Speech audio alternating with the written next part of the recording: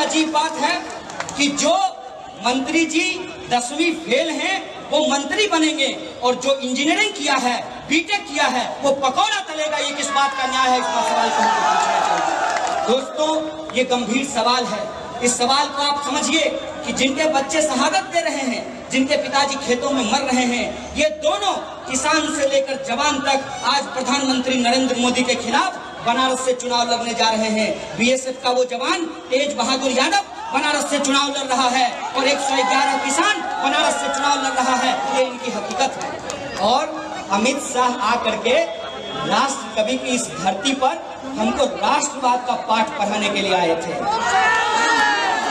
एक बात मैं आपसे पूछना चाहता हूँ। ये कहते हैं टुकड़े टुकड़े गैंग। कौन कर रहा है टुकड़ा टुकड़ा इस देश को? अपने दिल पर हाथ रखिएगा और एक बार सोचिएगा कि किसने इस देश को टुकड़ा टुकड़ा करने का प्लान बना रखा है? आप जरा उसके बारे में समझिए। चुनाव हो रहा है। बेगूसराय में चुनाव हो रहा है। एक सेकेंड हैंड मिनिस्टर हमारे पास चुनाव लड़ने के लिए आए हैं। सेकेंड हैंड नारा लेकर और वो सेकेंड हैंड मिनिस्टर उनकी सच्चाई क्या है? सच्चाई ये है कि आप उनका सोशल मीडिया प्रोफ़ाइल जाकर के चेक कर लीजिए। उनकी मिनिस्ट्री क्या कर रही है? इसके बारे में आपको कोई जानकारी नहीं मिलेगी। किस बात पर लोगों को पाकिस्तान भेजा जाएगा, इस बात की पूरी जानकारी आपको मिल जाएगी। तो जब हमने ये सवाल पूछा कि आप कहाँ के मंत्री हैं? आप देश के मंत्री हैं? हिंदुस्तान के मंत्री हैं? कि पाकिस्तान के मंत्री हैं? गिरिराज बाबू, जरा आप ये हमको समझा दीजिए। आप बात बात पे कहते हैं, इन्होंने कहा कि जो मोदी जी की रैली में नहीं जाएगा, वो तो देशद्रोही होगा। खुद ही कंबल तान करके सो हर बात को के मानते भरोसा करते पहले कहलखिन कि कुछ भी हो जाए, हम नवादा से ही चुनाव लड़ेंगे। नवादा से यदि नहीं लड़ने दिया जाएगा तो हम राजनीति से संन्यास ले लेंगे। संन्यास तो वो नहीं लिए। बेगूसराय के लोग 29 तारीख को उनको संन्यास दे देगा। दीजिएगा कि नहीं दीजिएगा? की बुझलखिन फड़किया दिना छिकै। बढ़ैया घोड़ा लेके थी ना जोत के चल जेथी बेगूसराय धरती छिकै, बेगूसराय धरती। और पिछला पाँच साल में लगातार इस सरकार ने बेगूसराय की मिट्टी को अपमानित करने का काम किया है।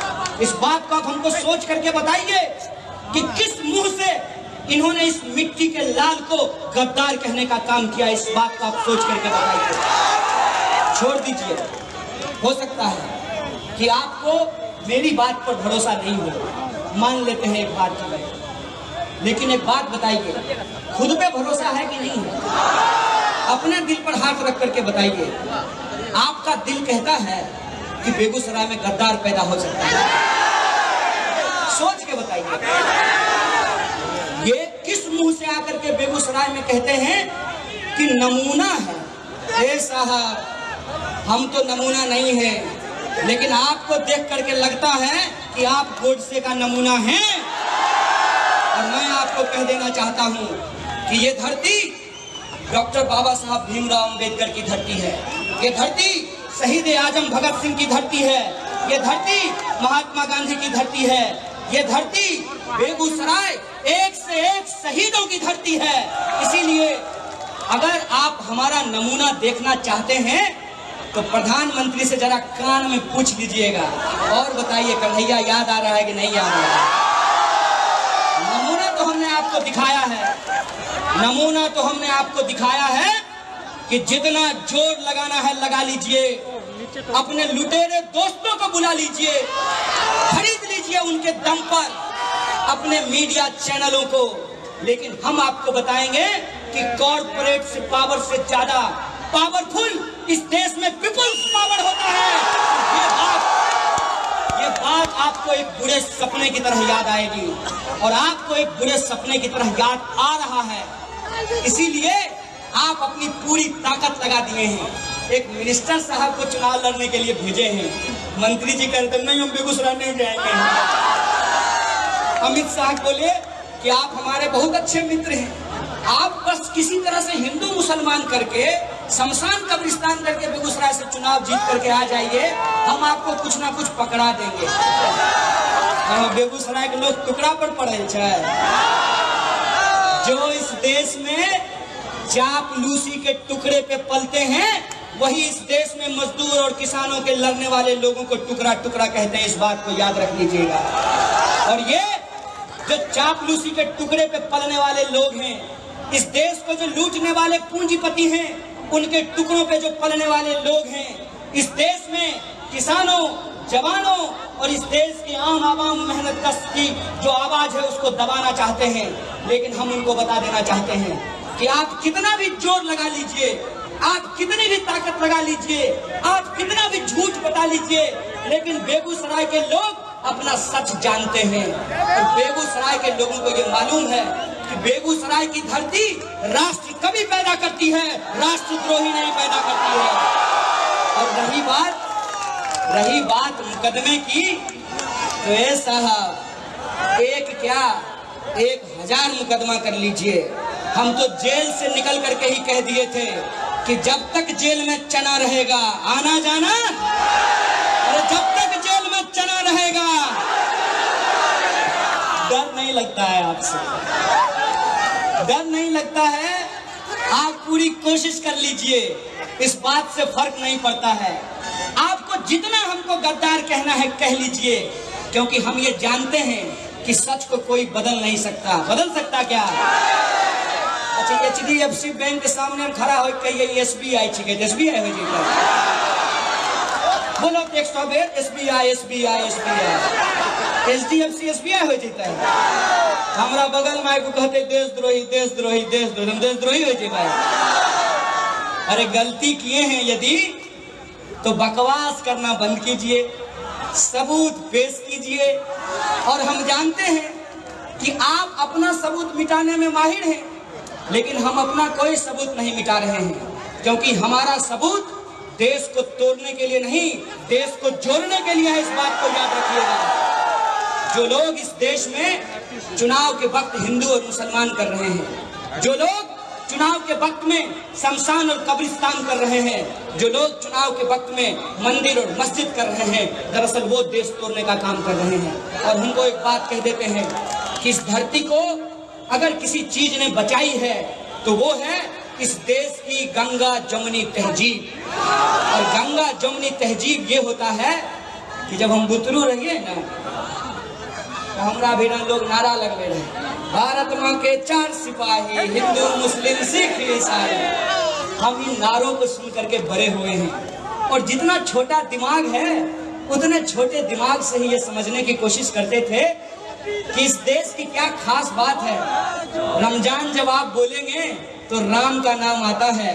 और दिवाली जब आप बोलेंगे तो अली का नाम आता है। ये इस देश की खासियत है। ये इस देश की खासियत है कि एक मुसलमान का लिखा हुआ गाना हिंदुओं के मंदिरों में बसता है। ये इस देश की खासियत है। ये इस देश की खासियत है कि आप इलाकों में घूम करके देख लीजिए। आप कई बार हिंदू और मुसलमान में फ़र्क नहीं कर पाएँगे। जो लोग हिंदू और मुसलमान में फ़र्क कर रहे हैं, जो लोग ब्राह्मण और दलित में फ़र्क कर रहे हैं, उनसे मैं एक सवाल पूछना चाहता हूँ। अगर इस देश में मुद्दे की राजनीति हो, अगर लोकतंत्र में लोगों के सवाल को महत्व दिया जाए तो सोच करके हमको बताइए, दिल पर हाथ रख करके आप हमको बताइए कि अच्छा यूनिवर्सिटी यदि बेगूसराय में बनेगा, बढ़िया अगर विश्वविद्यालय बेगूसराय में बनता है खाली बागने पढ़ते दलितों पढ़ते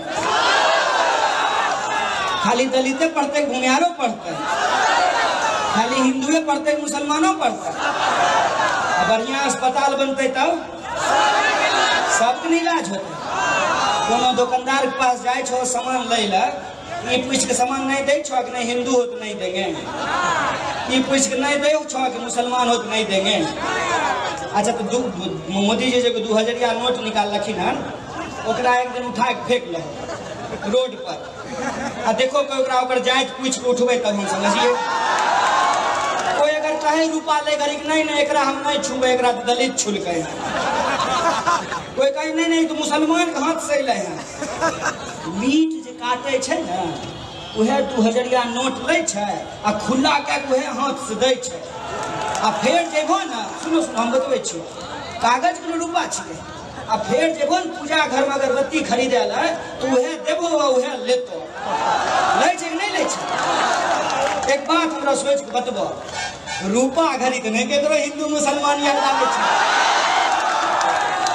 माल घड़ी, रूपा घड़ी आबै छै याद? हो चुनाव घड़ी हिंदू मुसलमान होइ छै। किए? किए होइ छै? ई चलते होइ छै कि तुम वोट दै घड़ी न। जब जाओ मशीन में तो खोजो मुसलमान कहाँ छै, हिंदू कहाँ छै। भूमिहार कहाँ छै, यादव कहाँ छै। ब्राह्मण कहाँ छै या दलित कहाँ छै। तब तो हुआ तोरा विकास नहीं खोजे छै। वोट देबो जात के नाम पर, आ खोजबो विकास? वोट देबो धर्म के नाम पर, आ खोजबो स्कूल। वोट के देबो जात पात आ धर्म के नाम पर खोजबो सड़क एक बात सोच लीजिए, ये साजिश एक दिन में हमारे खिलाफ नहीं रची गई है। इस साजिश को बड़ी ध्यान से गढ़ा गया है, बुना गया है। और इस ट्रैप में हम इस तरीके से फंस गए हैं कि एक बार सिखाया गया पंछी को कि शिकारी आएगा, दाना डालेगा, भूल से उसमें फंसना नहीं। शिकारी आया भी दाना भी डाला पंछी बोल भी रहे थे शिकारी आएगा दाना डालेगा भूल से उसमें फंसना नहीं। नहीं फंसेंगे हमको मालूम है क्योंकि ये बेगूसराय जिला है।